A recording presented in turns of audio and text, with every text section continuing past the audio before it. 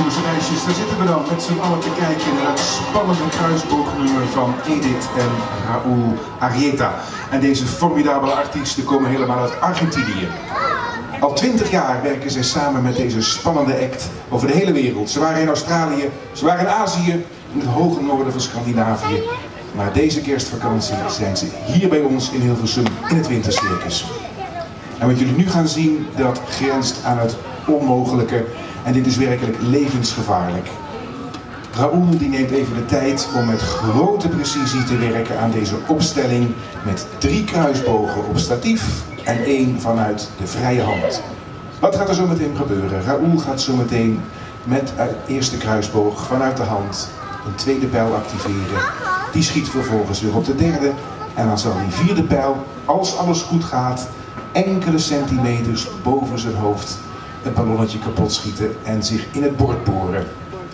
Jullie begrijpen, Raoul die neemt heel uitgebreid de tijd. Normaal gesproken doet hij deze truc alleen in het theater. Maar we hebben aangedrongen en hij zei oké, ik wil het proberen hier in het circus met die ongelijke ondergrond. Met die zachte ondergrond, elke dag weer anders. Maar ik heb even de tijd nodig om dat heel zorgvuldig neer te zetten. Nou, dat begrijpen we. De eerste pijl zit erin, de tweede gaat erin. En als het dan zo meteen gaat gebeuren, is het een kwestie van goed opletten, want binnen één seconde zijn alle vier de pijlen vertrokken. Belangrijk ook dat we Raoul natuurlijk niet afleiden, dus ik wil jullie vragen om zo meteen, als die gaat schieten, muisstil te zijn. De tweede pijl zit ook bijna goed. En dan gaat de derde, jongens elke keer ontzettend spannend. Met die zachte ondergrond hier in de circuspiste.